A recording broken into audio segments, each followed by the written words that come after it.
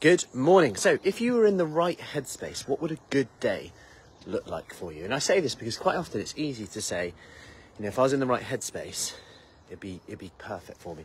I'll be able to do it. I'm just not in the right headspace. And we say this, and then it almost allows us to put things off, put put off doing the things that are tough right now. Maybe we're trying to do something, but we're not perfect with it. It's not happening every day, and it's almost like another way of actioning the perfectionist, all or nothing mindset to an extent. And the reason this task is so powerful as well is what would a good day look like if you were in the right headspace? And I ask this because sometimes it's not as different as you think it is. It's like I'd get up, I'd go for a walk, or I'd get a workout in, but I've never got, I've not got enough time for that. Okay, what could you get? Could you get one minute in? Could you get two minutes in? well, yeah, I could probably do that, but are you doing it now? No, it's pointless. And then that effort mindset comes in again. That something is better than nothing needs to come into this, all or something rather than all or nothing. And when I look back and, I, and people ask, you know, will I get results at FruciFit? And I, and I think one of the key things is doing the things that you can, focusing on what you can do rather than waiting for that perfect moment. The perfect moment when you can get the workout, the perfect hour workout that happens once a month.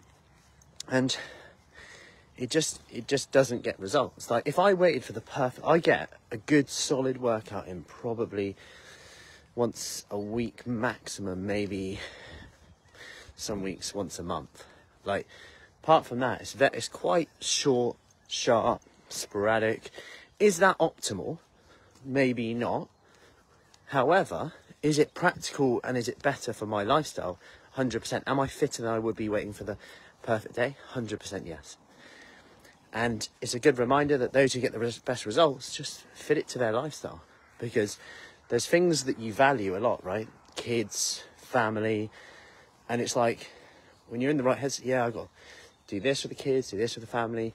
I then got this with work. I mean, we value these things, right? Work, we value kids, family, we value. They're not things that we're going to give up. Of course, there could be conversations around work, working too long, too much, or you know, playing taxi with the kids and things like that. And but ultimately, you know, it's not forever with things like that. It's another conversation, but it's things that we love doing, right?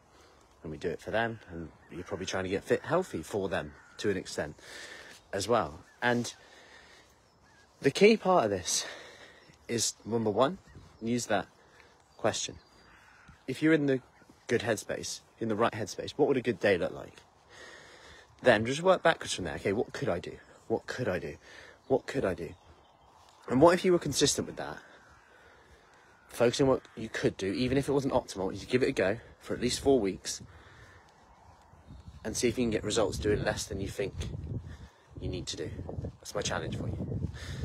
I hope that helps. And any questions, let me know. If you found that helpful, like, share it. If you feel like someone needs to hear that, share it. Anyway, any questions, let me know.